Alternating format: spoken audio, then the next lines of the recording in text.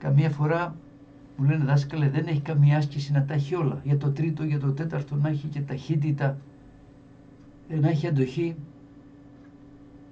Ε, εδώ τώρα το βίντεο το βάζω για να προσέξουμε ότι ας πούμε μπορεί κάποιος να ανοίξει το YouTube και να πει να πάω να βρω έτσι καλές ασκήσεις, να κάνω να, να προχωρήσω να γίνω καλός.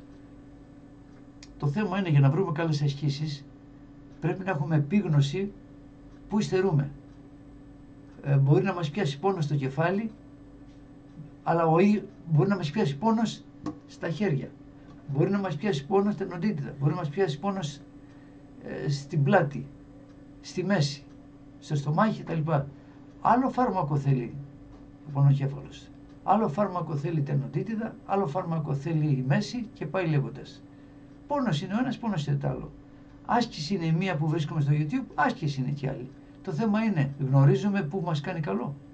Πάρει περίπτωση να μας κάνει κακό. Κακό, ναι. Το πρώτο πράγμα που μπορεί να φέρει είναι απελπισία. Να δούμε μια καλή άσκηση και να μην μπορούμε να την βγάλουμε έτσι που θέλουμε. Και να, ή να μην μπορούμε να την βγάλουμε και καθόλου. Οπότε απελπιζόμαστε.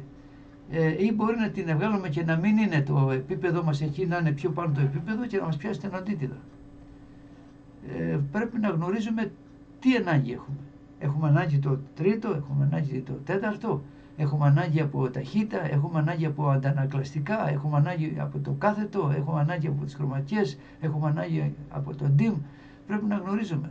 Οπότε θέλει μεγάλη προσοχή όταν βλέπουμε τις ασκήσεις να βρίσκουμε επικεφαλίδα. Αυτή κάνει εκεί καλό. Τώρα, απ' πώς, με λίγα λόγια δεν μπορούμε να πώς θα καταλάβουμε αν είναι για μένα αυτή η άσκηση. Ωραία. Θα μπορούσαμε να βάλουμε ένα σημείο ότι εάν την επέζουμε και βλέπουμε ότι δεν μας βγαίνει, δεν αποδίδει, αν την έχουμε βγάλει και δεν αποδίδει ή δεν μπορούμε να την βγάλουμε, δεν είναι για μας, δεν είναι της ώρας.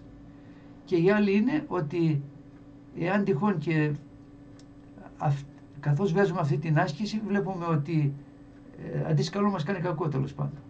Δηλαδή έχει πιαστεί το χέρι μας, ε, πιάνεται εδώ πέρα, ε, μας βγάζει τενοντίτιδα, οπότε βλέπουμε ότι εκεί είναι ρίσκο, είναι ζαριά.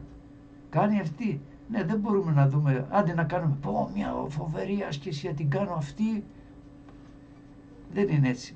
Ωραία, και κλείνει το βίντεο. Καλύτερα είναι να βλέπουμε τις επικεφαλίδες και να γνωρίζουμε τι ανάγκη έχουμε Δηλαδή, πώς μπορεί να το γνωρίζουμε, καθώς παίζουμε, βλέπουμε ότι δεν πατάει καλά το τρίτο. Άσκηση για το τρίτο. Έτσι τώρα που είναι τα πράγματα, είναι, εγώ βάζω κάθε εβδομάδα βάζω ασκήσεις. Αλλά εκεί είναι και τα άλλα τα παιδιά, ένα σωρό παιδιά που βάζουν ασκήσεις και βάζουν και ωραίες ασκήσεις. Απλώς το βάζω τώρα αυτό το βίντεο γιατί η αλήθεια είναι ότι ε, πολλές ασκήσεις που γίνονται γίνονται άσκοπα, χάνεται ο χρόνος και αντί καλό γίνεται κακό. Οπότε καλό να προσέξουμε να κάνουμε τις ασκήσεις αυτές που εμείς θέλουμε και όχι οι ασκήσεις που είδαμε ένας επώνυμος και κάνει αφού την κάνει αυτός θα γίνει και εγώ έτσι. Ναι.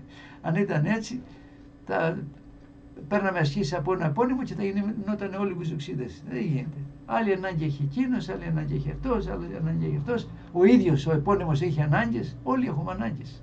Δεν μπορεί να παίζει 100 χρόνια. Και εγώ παίζω 55 χρόνια και κάνω ασκήσει. Ανάλογα το επίπεδο που είσαι, κάνεις ασκήσει.